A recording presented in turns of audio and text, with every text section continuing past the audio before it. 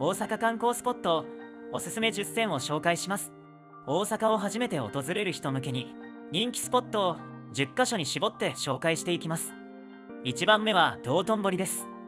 大阪屈指の繁華街です。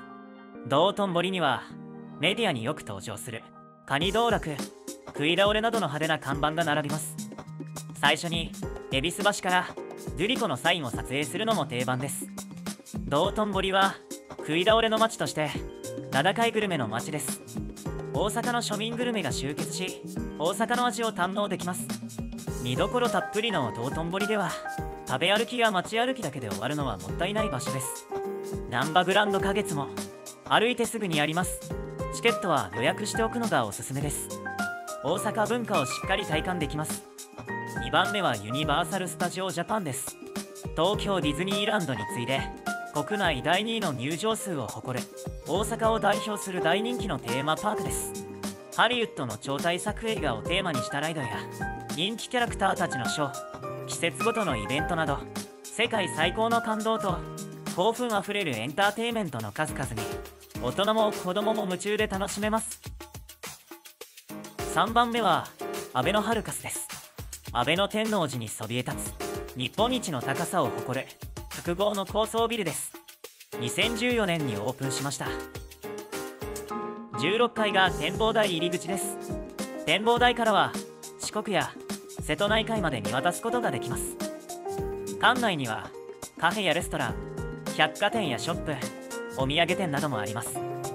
さらに一息できる広場や高級ホテルもあり魅力的な施設が詰まった充実の大人気スポットとなっています。4番目は海遊館です。世界最大の魚ジンベエザメを見ることができ約620種3000点の海洋生物を飼育展示する世界最大級の巨大水族館です。太平洋水槽では雄大に泳ぐジンベエザメに会うことができます。クラゲ銀河ではクラゲの魅力を引き出すために立体的に展示しています。水クラゲや赤クラゲなど様々なクラゲを存分に見ることができます。魚の通り抜けアクアゲートではまるで透明な海底トンネルのように一面ブルーの世界が広がります。海中にいるかのようにカラフルな魚を見ることができます。14の水槽に加え身体感エリアがあります。このエリアでは見るだけでなく音や匂い気温など海の生き物をよりリアルに感じることができます。冬はイルミネーションに彩られます。とても幻想的な世界を見ることができます。5番目は大阪城公園です。大阪城天守閣をはじめとした歴史的建造物や重要文化財を有する公園です。広大な公園には大阪城天守閣をはじめ大手門など国の重要文化財に指定された歴史的な遺構が数多く残されています。大阪城は1583年天下統一を目指して豊臣秀吉が築城しました。大阪のシンボルともいえるランドマークです。天守閣は2度の火災を経て現在の天守閣は3代目です。お城の中は博物館になっています。昭和6年に再建されました。戦国時代の紹介や大阪城の歴史資料が展示されています。お城の展望台の高さは地上50メートルあります。大阪の街並みを一望することができます。夜のライトアップも魅力的です。6番目は梅田スカイビル。空中庭園展望台です。大阪駅から歩いて15分ほどです。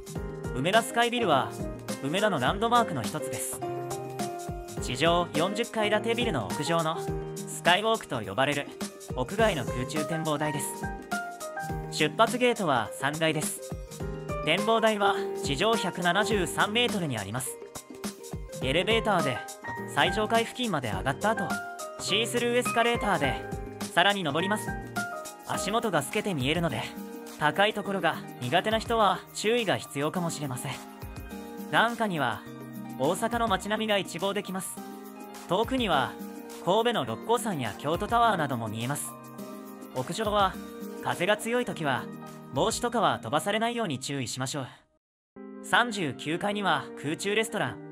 40階には展望ギャラリーもあります。7番目は天保山大観覧車です。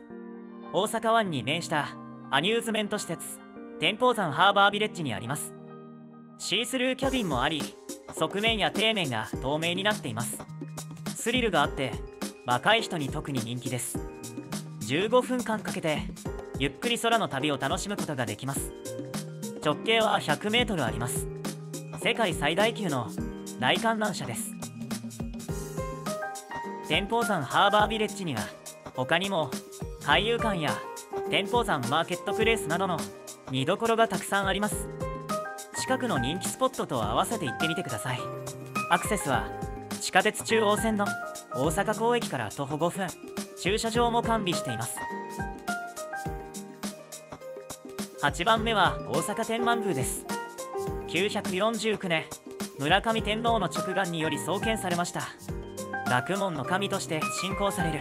菅原道真公を祭り受験シーズンには多くの受験生が合格祈願に訪れることで有名です。毎年7月24日から25日に行われる天神祭りは日本三大祭り。大阪三大夏祭りの一つです。天神祭りは1000年以上の歴史を持つ祭りです。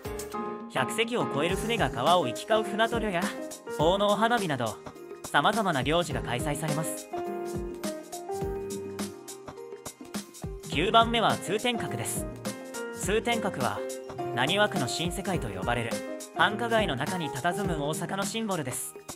高さは 108m あります。4階の 84m にあるのは光の展望台です。夜になると派手な照明とミラーボールに変わります。展望台からは大阪市街を一望することができます。通天閣は梅田や心斎橋など大阪の中心部からもアクセスしやすい位置にあります。